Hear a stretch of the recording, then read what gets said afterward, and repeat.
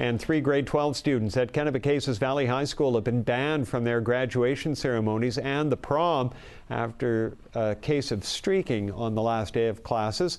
Principal Robert Munro says the boys ran through the halls and into the parking lot wearing nothing but masks last Friday. Rothesay Regional Police are investigating to see whether any charges will be laid.